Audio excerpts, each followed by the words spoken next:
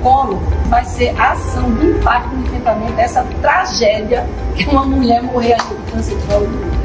Então, Pessoal, eu estou aqui na Fundação SECOM, na verdade é um lado, numa obra que está em fase de conclusão, que na verdade é o sonho de muitas pessoas, especialmente da doutora Mônica Bandeira de Mello, que acabou sendo o sonho de todos nós, porque nós reconhecemos e admiramos a luta da doutora Mônica ao longo de décadas para que se tivesse um centro de prevenção ao câncer de colo que nós chamamos de CEPCOL.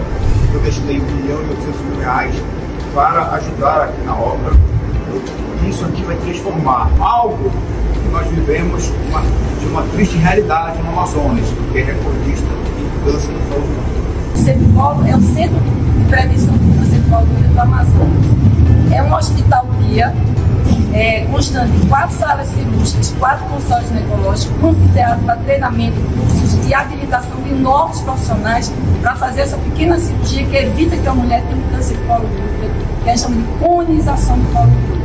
O cervicolo vai ser exclusivo para a colonização do colo útero, quando a mulher tem inflamação que vem antes do câncer e ela pode ser tratada, evitando que essa inflamação se transforme futuramente num câncer invasivo, como a gente está acostumado a atender aqui na Fundação Cervicolo. O Cepicolo, é, sem sombra de dúvida, nos últimos 30 anos vai ser a ação do impacto no enfrentamento dessa tragédia que uma mulher morrer de câncer de colo do útero. É uma tragédia uma mulher em 2024 morrer de câncer que é 100% evitável. Me reportarei ao governador Wilson Lima, que eu sei que é sensível à causa, vai nos ajudar, vai unir forças para que a gente possa realizar o sonho da, não só da doutora Mônica, mas tantas pessoas que precisam, a partir desse sepolo, muitas mulheres amazonenses serão salvas com um tratamento realizado, um procedimento realizado aqui por esse centro.